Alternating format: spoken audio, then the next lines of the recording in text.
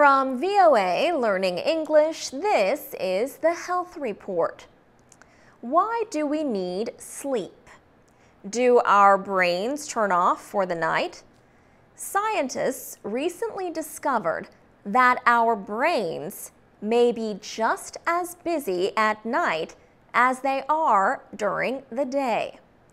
While we sleep, our brains are doing much more than getting ready for the next day.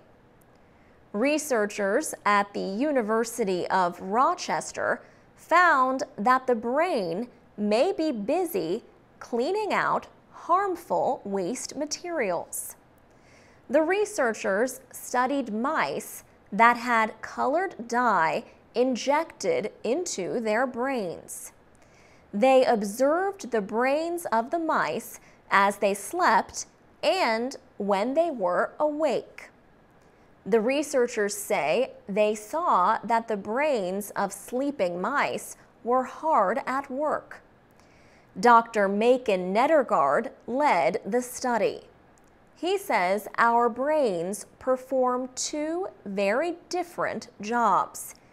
He says when we are awake, our brain is hard at work processing information about our surroundings. But at night, our brain works to remove all the waste that builds up during waking hours.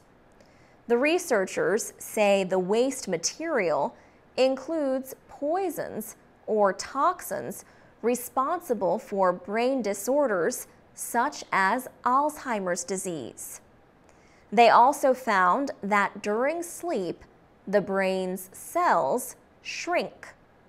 This shrinking permits waste to be removed more effectively.